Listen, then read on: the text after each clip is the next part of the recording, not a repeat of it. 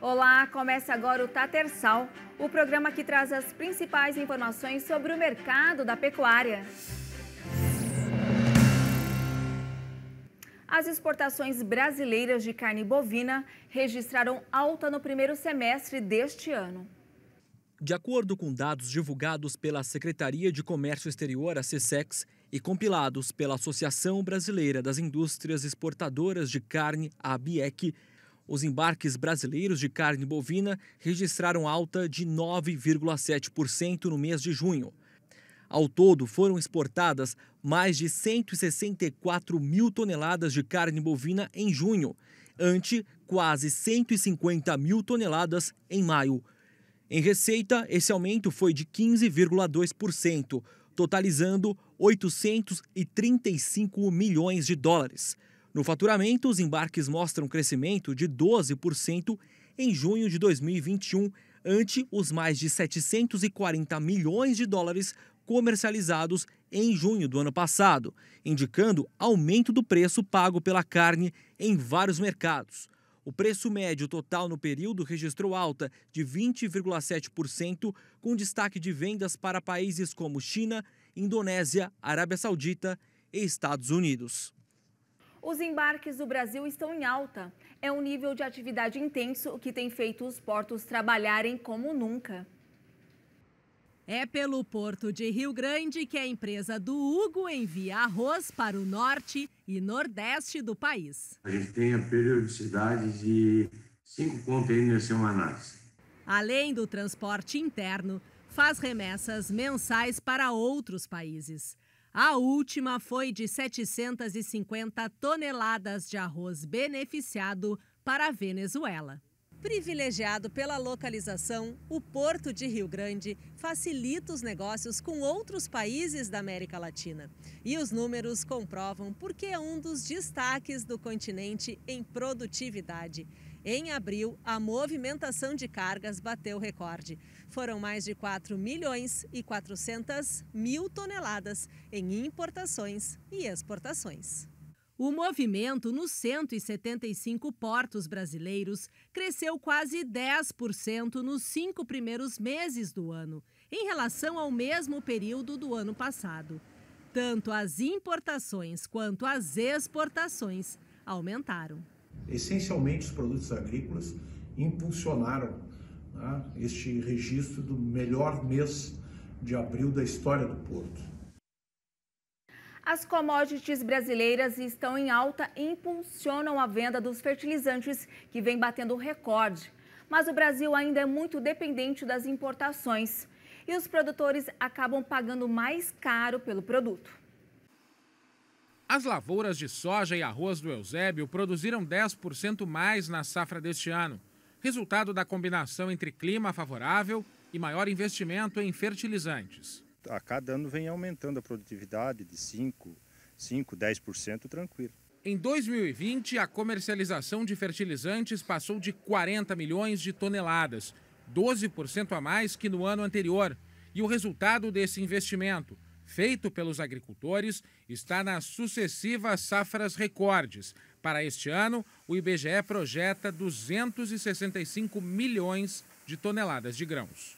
O Brasil está produzindo mais, está investindo em tecnologia, em inovação e, é, por enquanto, nós estamos dando conta do recado. Para este ano, a expectativa é ampliar ainda mais o uso de fertilizantes nas lavouras brasileiras devem ser consumidos 44 milhões de toneladas, a maior parte importada. Só 15% são produzidos aqui no Brasil. A gente já produziu mais do que isso.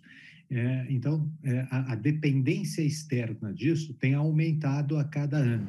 Essa dependência das importações acaba atrelando o preço dos fertilizantes ao dólar, que está valorizado, e pesa no bolso dos produtores rurais o Eusébio pagou quase 40% mais caro pelos adubos, mas avalia que o investimento vale a pena. Nosso produto também acompanhou, talvez um pouquinho mais. Então, em troca de grão, grão por, por insumo, está tá no mesmo preço, na mesma comparação do ano passado.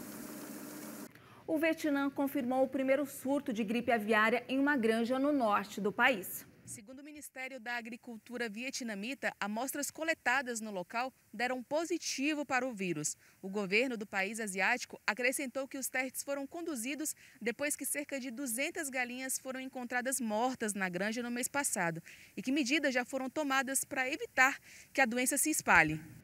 O bloco europeu vai proibir animais em gaiolas. Essa decisão começa a valer a partir de 2027 e deve refletir em outros países, incluindo o Brasil. O projeto chamado Fim da Era da Gaiola foi aprovado no último dia 30. Foi uma iniciativa que recebeu o apoio maciço da sociedade em todas as nações do grupo e contou com a colaboração de mais de 170 ONGs. O órgão europeu se comprometeu a estabelecer um plano de transição a ser publicado até o final de 2023, promovendo a gradual redução das gaiolas até o total banimento a partir de 2027. As espécies contempladas pela norma incluem porcas, bezerros, coelhos, galinhas poedeiras, frangos, matrizes de frangos de corte, matrizes de galinhas poedeiras, codornas, patos e gansos.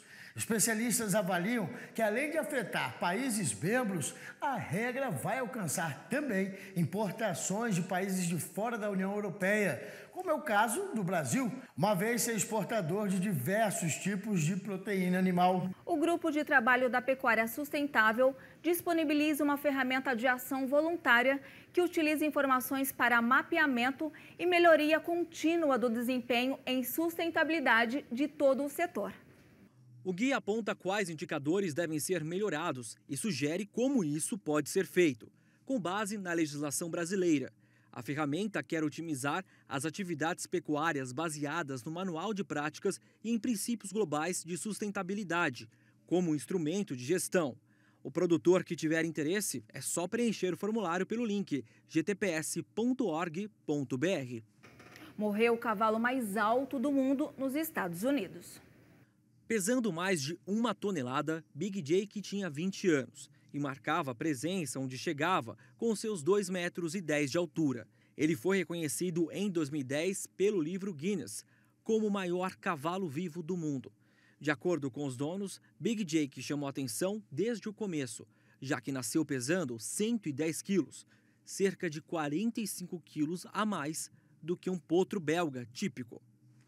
Os impactos do clima na produção puxaram para baixo a estimativa total da safra 2020 2021 da Abramilho, Associação Brasileira dos Produtores de Milho.